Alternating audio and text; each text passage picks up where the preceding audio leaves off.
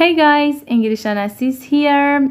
با یک یونیت دیگه از کتاب Collocations in Use همراه ما باشید. همونطور که می‌بینید یونیت 55 از کتاب Collocations in Use مربوط به agreeing and disagreeing هستش یعنی موافقت کردن و مخالفت کردن. حالا این سری سری ورب و اسم داریم که مربوط به کالوکیشن های موافقت و مخالفت کردن هستش. تا انتهای این ویدیو همراه ما باشید. Part A Go along with an idea or go along with a view به معنی این هستش که سازش کردن با یک ایده یعنی پذیرفتن یک ایده قبول داشتن یک ایده هستش Go along with an idea or go along with a view I go along with your view that crime and poverty are linked میگه من با نظرت موافقم که جرم و جنایت و فقر با هم مرتبط هستن.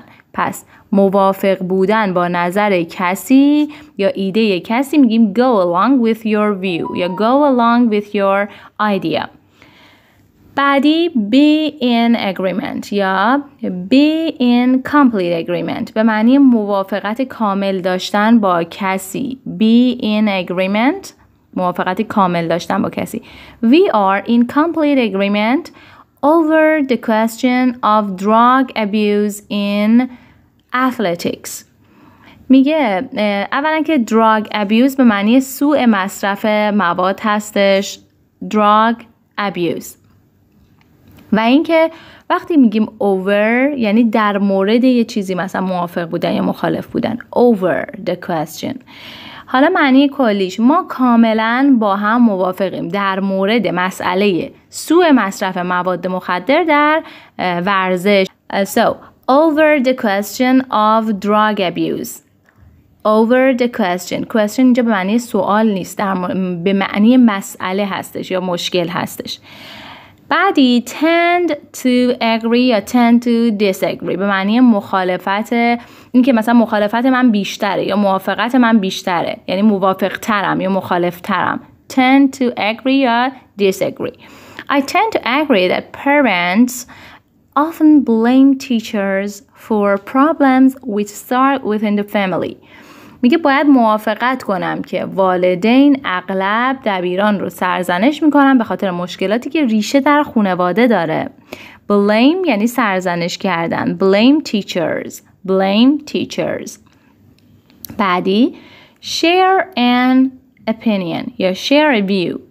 به معنی این هستش که موافق بودن با نظر کسی. Share an opinion یا share a view یعنی موافق بودن با نظر کسی I share your opinion that sport is over commercialized میگه من باهات موافقم که ورزش بیش از حد جنبه تجاری پیدا کرده over commercialized I share your opinion یعنی من باهات موافقم appreciate someone's point of view به معنی این هستش که ارزش قائل بودن برای نظر کسی appreciate someone's point of view I appreciate your point of view, but I still think you're overstating the problem. میگه من با نظرت موافقم اما هنوز فکر میکنم داری مسئله رو بزرگ میکنی. Overstating یعنی بزرگ کردن چیزی. Overstating the problem داری مسئله رو بزرگ میکنی. مبالغه میکنی. See someone's point یعنی understand their opinion. یعنی متوجه منظور کسی شدن فهمیدن منظور کسی see someone اینجا see به معنی understand هستش. I can see your point. I've never thought of it in that way before. یه الان می‌تونم منظورتو بفهمم. تا حالا اینجوری بهش فکر نکرده بودم. I can see your point. الان می‌تونم منظورتو بفهمم. Enter into an argument به معنی وارد بحث و جدل شدن. enter into an argument. I'd prefer not to enter into an argument over the results of the elections. میگه من ترجیح میدم وارد این بحث نشم در مورد نتیجه انتخابات. پس وارد این بحث نشم. Not to enter. وارد این بحث نشم در مورد نتیجه انتخابات. Result of the elections. Differences arise یا differences exist به معنی مخالفت ها وجود داره مخالفت های به وجود اومده هستش differences arise یا differences exist به معنی مخالفت ها وجود داره مخالفت هایی به وجود اومده هستش arise به معنی به وجود اومدن exist به معنی وجود داشتن differences exist یا differences have arisen between the unions and the management over how to solve the problem میگه مخالفت ها وجود داره. مخالفت ها به وجود اومده بین اتحادیه و مدیریت در مورد نحوه حل کردن مشکل. قسمت بعدی come to یا reach a compromise. به چه معنی هستش؟ به معنی به توافق رسیدن. مصالحه کردن و سازش کردن میشه compromise. حالا به طور کلی به توافق رسیدن هستش. میگه we disagree over what to do but I'm sure we can come to یا reach a compromise.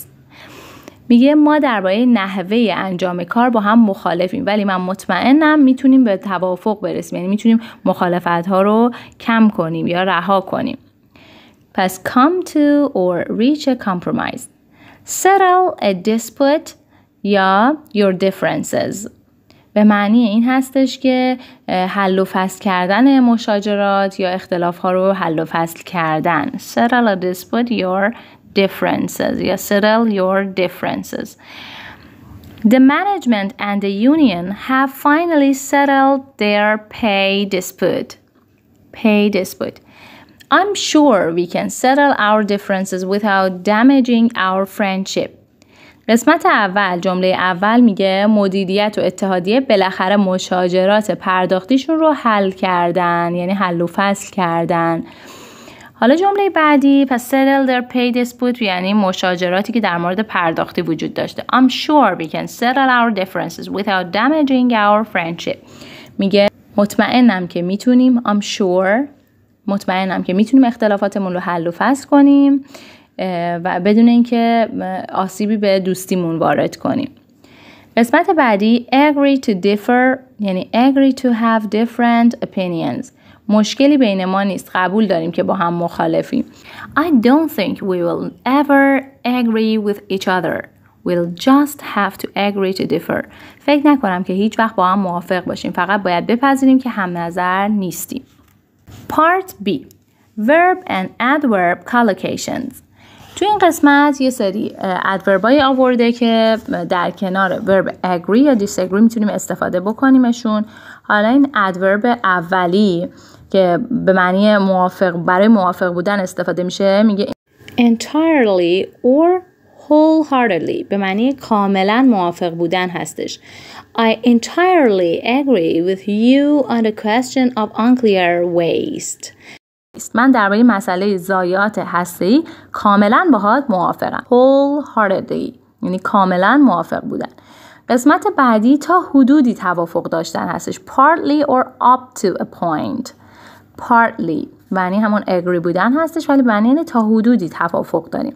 I agree up to a point but I also think there are other important factors.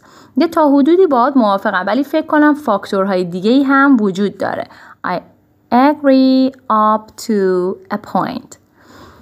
بعدی برای مخالف بودن هستش. Fundamentally یعنی اساسا مخالفم یعنی اساسش مشکل داره این قضیه باید مخالفم موافق نیستم. یا totally strongly یعنی کاملا مخالفم. عمیقا مخالفه دیگه. The two philosophers disagreed fundamentally over the effect of environment on behavior. اینکه دو فیلسوف اساسا با هم مخالف بودن درباره اثر محیط اطراف بر رفتار شخص. پس اساسا fundamentally. خب میریم قسمت سی. Adjective and noun collocations for disputes and strong disagreements. برای اینه که حالا یه سری اسم و صفت هستن که برای مشاجرات و مخالفت های شدید و قوی استفاده میشه. I've often disagreed strongly with Nancy, but I've never had such a head-on clash with her before. من اغلب کاملا با نانسی مخالفم اما هیچ وقت همچین برخورد شدیدی باهاش نداشتم. head-on clash به معنی برخورد شدید هستش. بعدی The bitter dispute between the two groups finally led to violence. میگه مشاجره تلخی که با هم داشتن در نهایت منجر به خشونت شد. Bitter dispute یعنی مشاجره تلخ. We had a very heated argument about immigration the other day. ما یه بحث داغی داشتیم درباره مهاجرت چند روز پیش. Heated argument به معنی بحث و جدل داغ. Jeff and I had a fundamental disagreement over who should be the next chair of the club. میگه جف و من یک مخالفت اساسی داشتیم درباره اینکه رئیس بعدی باشگاه کی باشه. Fundamental disagreement. Part D Further calculations for agreeing and disagreeing. اولین جمله The Regional Education Committee has reached a unanimous agreement on a new system of exams for secondary schools. یک کمیته آموزش منطقه به یک توافق یک پارچه رسیده درباره سیستم جدید امتحانات برای مدارس دبیرستانی. Controversy continues to exist or rage over the appointment of the new director. میگه مخالفت های شدید همچنان وجود داره درباره انتصاب مدیر جدید. Controversy Controversy continues to exist or rage over the appointment of the new director. مخالفت های شدید همچنان وجود داره درباره انتصاب مدیر جدید. پس controversy exist or rage over باز هم over داریم یعنی در مورد درباره A conflict of opinion within the National Olympic Association is threatening to delay the building of a new stadium. میگه تضاد نظرات در انجمن ملی المپیک ساخت یک استادیوم جدید رو به تأخیر میندازه. Conflict of opinion یعنی تضاد نظرات. A conflict of opinion تضاد نظرات در انجمن ملی المپیک ساخت یک استادیوم جدید را به تاخیر میندازه مرسی که تا انتهای این ویدیو همراه ما بودید. ممنون میشم با لایک و کامنت. حمایتمون کنید. و اگر channel یوتیوب ما رو subscribe ندارید subscribe کنید و زنگوله بغلش رو روی حالت all قرار بدید تا به محض آپلود شدن ویدیو شما اولین نفری باشید که ویدیوهای ما رو تماشا می‌کنید.